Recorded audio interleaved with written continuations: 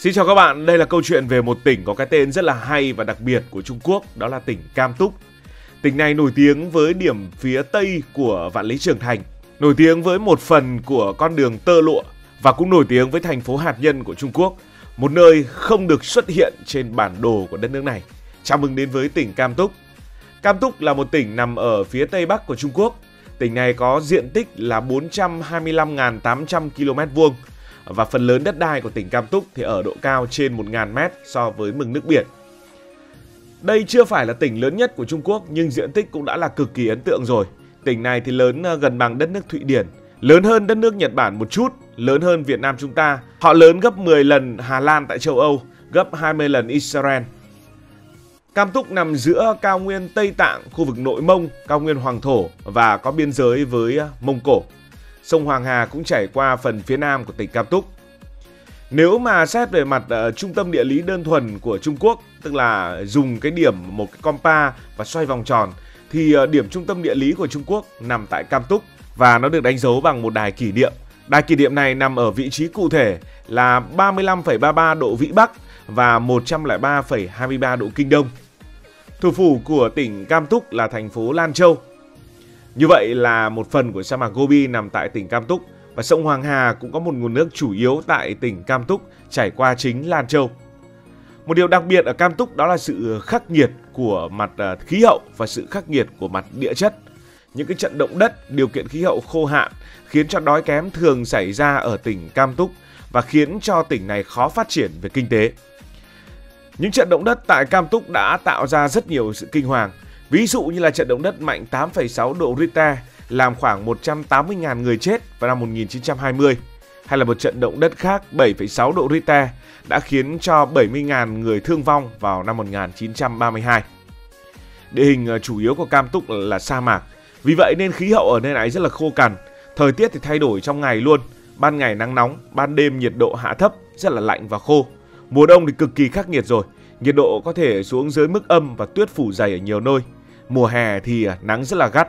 Ngay cả mùa thu và mùa xuân, những cái mùa đẹp ở những nơi khác thì à, thời tiết tuy mát mẻ nhưng cũng rất là khô và có sự khác biệt đáng kể giữa ngày và đêm. Người ta nói rằng chính cái khí hậu tại Cam Túc đã khiến cho người dân nơi đây có một sức khỏe phi thường so với những người dân tại các tỉnh khác của Cam Túc. Dân số của Cam Túc lúc này là khoảng hơn 26 triệu người, trong đó có gần một nửa sống tại thành thị và cứ ờ, 10 người tại Cam Túc thì có 9 người là người Hán. Ngoài ra còn có các dân tộc thiểu số khác như là người Hồi, người Tạng hay là người Thổ. Đến bây giờ thì phần lớn cư dân tại Cam Túc sử dụng tiếng Trung quan thoại phương Bắc và cả những dân tộc thiểu số thì họ cũng đã nói tiếng Trung rất nhiều và dần mai một đi cái truyền thống dân tộc của mình. Người Cam Túc tự hào có lịch sử hàng ngàn năm và gắn liền với lịch sử tại Trung Quốc là một trong những nơi khởi phát văn hóa của dân tộc Trung Hoa cũng như là một trong những nơi sản sinh ra nền y học cổ truyền của Trung Hoa. Theo truyền thuyết thì ờ, những nhân vật nổi tiếng như là Phục Hy, như là nữ oa là người đã phá trời, như là hoàng đế à, đều là những ờ, người đã sinh ra tại tỉnh Cam Túc, đó là truyền thuyết mà thôi. Hay là nước Tần nổi tiếng vang danh, một nước đã sáng lập ra đế chế Trung Hoa cũng bắt nguồn từ khu vực phía đông nam của tỉnh ờ, Cam Túc, đặc biệt là khu vực Thiên Thủy. Nhiều điều để tự hào là vậy nhưng mà kinh tế Cam Túc thì vẫn không mấy phát triển bởi vì chúng ta đã nói đến sự khó khăn về ờ, điều kiện thời tiết, về điều kiện khí hậu và về những trận động đất tại tỉnh Cam Túc. Cam Túc nổi tiếng là nơi cung cấp ờ, cây thuốc chữa y học cổ truyền của Trung Quốc. Ngoài ra thì tỉnh Cam Túc còn ờ, sản xuất hay là trồng bông, trồng ngô và trồng dưa, trong đó có dưa Bạch Lan cũng rất là nổi danh. Tuy vậy thì cái phần này mang lại thu nhập không đáng kể cho người dân của tỉnh Cam Túc, mà phần lớn kinh tế của cả tỉnh lại dựa trên khai thác mỏ và quặng, đặc biệt là đất hiếm. Vậy ở tỉnh Cam Túc có những địa danh nào nổi tiếng và tại sao nó lại nổi tiếng đến như vậy? Có lẽ là nổi tiếng nhất tại ờ, tỉnh Cam Túc chính là Gia Dục Quan. Gia Dục Quan được mệnh danh là thiên hạ đệ nhất hùng quan. Cửa ải số 1 trong thiên hạ. Cửa ải Gia Dục Quan nằm tại thành phố cùng tên là cửa ải lớn nhất và cũng là một trong những cửa ải còn nguyên vẹn nhất của Vạn Lý Trường Thành. Bởi vì ờ, Gia Dục Quan được xây dựng vào thời nhà Minh, tức là ở phần sau này của lịch sử. Nó được xây dựng gần một ốc đảo khi ờ, đó là điểm cực tây của vạn lý trường thành. Đó là một cách mà người Trung Quốc ngăn chặn những cuộc xâm nhập từ phía Bắc và từ cả phía Tây nữa. Và Gia Dục Quan còn có một tên gọi khác là Hòa Bình Quan. Vì ờ, bản thân người ta muốn xây gia dục quan một cách vô cùng vững chắc để chống lại những cuộc chiến tranh. Nhưng mà may mắn tại nơi này thì chưa từng xảy ra bất kỳ một cuộc chiến loạn nào cả. Do được xây dựng trên một phần của sa mạc Gobi ờ, và ở phía tây của lãnh thổ Trung Quốc khi xưa, nên ngoài tác dụng phòng thủ, cửa ải này còn là một trạm dừng chân rất là quan trọng của con đường tơ lộ huyền thoại kết nối Trung Quốc với các nước phương Tây. Có một truyền thuyết rất là nổi tiếng đã kể lại chi tiết quá trình xây dựng gia dục quan. Theo đó, khi mà gia dục quan được lên kế hoạch, thì ờ, quan phụ trách đã yêu cầu Dịch Khai Chiêm. Dịch Khai Chiêm là một nhà toán học lỗi lạc thời nhà Minh, là người đảm trách nhiệm vụ thiết kế cửa ải. À, ông à, yêu cầu Dịch Khai Chiêm phải ước tính số lượng chính xác gạch cần để xây ra dục quan. Dịch Khai Chiêm mới đưa ra con số là 99.999 viên gạch. Tuy nhiên vị quan phụ trách thì nghi ngờ ước tính của thiên tài toán học này và hỏi rằng số gạch như vậy thì có đúng không, có đủ không?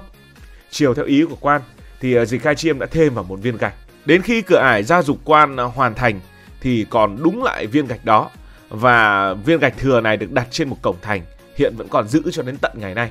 Trải qua 7 thế kỷ, câu chuyện ờ, xây gạch bằng phép tính 9999 cộng 1 viên gạch của Dịch Khai Chiêm vẫn khiến cho người đời ngưỡng mộ và phải nói ngưỡng mộ hơn nữa là cách người Trung Quốc kể chuyện bất kỳ một địa danh nào thì họ đều luôn nghĩ ra một câu chuyện một câu chuyện rất là hay một câu chuyện rất là dễ nhớ và đó là một câu chuyện tạo ra ấn tượng để người ta luôn nhớ về địa danh đó giống như cách mà gia dục quan đã tạo ra ấn tượng của mình ở Cam Túc còn có thành Đôn Hoàng à, nơi gắn liền với con đường tơ lụa lịch sử con đường tơ lụa bắt đầu từ Trường An và nối dài đến phía Tây trên con đường này thì các thương nhân phải à, đi tới Đôn Hoàng tại Cam Túc. Từ Đôn Hoàng thì các thương nhân sẽ đổi lấy những cái con lạc đà còn khỏe mạnh, đổi lấy thực phẩm và tìm kiếm cả những người hộ tống bảo vệ cho mình trong cuộc hành trình đầy nguy hiểm băng qua sa mạc. Trước khi mà rời à, Đôn Hoàng bước vào sa mạc thì những đoàn người sẽ cầu xin một chuyến đi an toàn. Nếu mà có thể quay trở lại nơi đây thì sẽ lại tạ ơn đất trời tại vùng này. Dọc theo sa mạc thì ờ, những cái đoàn người cứ thế cứ thế đi và được bảo vệ. Điểm dừng chân tiếp theo sẽ là Kaska hay còn được gọi là khách thập. Tại khách thập thì hầu như là hàng hóa từ ờ, phương Đông, hàng hóa từ Trung Quốc đã được trao đổi ở đây rồi. Và những thương nhân từ phương Đông sẽ quay trở về với thành Trường An, quay trở về phía Trung Quốc. Hàng hóa tiếp tục được ờ, đưa cho những người thuộc Trung Á bây giờ để tiếp tục được vận chuyển về phía Tây. Cách Đôn Hoàng không xa đó là hang đá Mạc Cao Hang đá Mạc cao nằm cách trung tâm của thành phố Đôn Hoàng khoảng 25 cây số mà thôi. Những bức bích họa ở hang đá Mạc cao rất là nổi tiếng, nó phần lớn nói về lịch sử và quá trình truyền bá Phật giáo vào Trung Quốc. Đa phần những hình vẽ nói về ờ, Phật, các vị Bồ Tát, hộ pháp ờ, và những nhân vật nổi tiếng khác. Hang Mạc Cao ờ, nhìn tổng quát là một hang đá có quy mô chứa nhiều nội dung phong phú của nghệ thuật kiến trúc và hội họa Trung Quốc còn tồn tại đến tận ngày nay. Kể từ khi nó lần đầu tiên được xây dựng, lần đầu tiên có những bức họa được phác thảo vào giữa thế kỷ thứ tư, trải qua hơn 1.000 năm mưa bão, lúc này vẫn còn tồn tại gần 500 hang nhỏ hơn, rất nhiều tranh trên vách đá và rất nhiều những bức bích họa khác. Hang Mà Cao có chiều dài là 1.600m, trong đó cất giữ tổng cộng là 50.000 bản văn thư, bích họa của 10 triều đại, chiếm diện tích lên đến 45.000 m2. Để mà à, hình dung về sự hoành tráng của hang đá này thì nếu mà nối liền tất cả những cái bức bích họa trong hang có thể tạo thành một hành lang toàn tranh là tranh cực lớn dài tới 25 cây số. Và cuối cùng, Cam Túc nổi tiếng vì nơi đây được coi là trung tâm hạt nhân của Trung Quốc. 404 là một thành phố không có tên nằm trên à, bản đồ của tỉnh Cam Túc, là nơi Trung Quốc phát triển chương trình bom hạt nhân trong thời kỳ chiến tranh lạnh.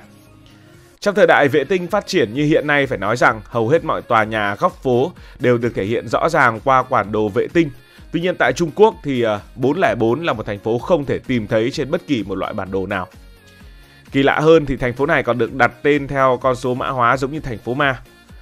À, thành phố 404 được cho là nằm gần ga Địa Hoa Phố thuộc uh, khu vực uh, Ngọc Môn của tỉnh Cam Túc. Quay trở lại lịch sử, vào năm 1958 thì cả Mỹ và Liên Xô lúc này đều đã sở hữu vũ khí hạt nhân rồi. À, thì Trung Quốc đã quyết định dốc toàn lực nghiên cứu uh, vũ khí của riêng mình. Những người giỏi nhất được ờ, tập hợp và đưa đến thành phố 404. Họ làm việc tại đây, đặt nền móng cho chương trình hạt nhân và không gian của Trung Quốc.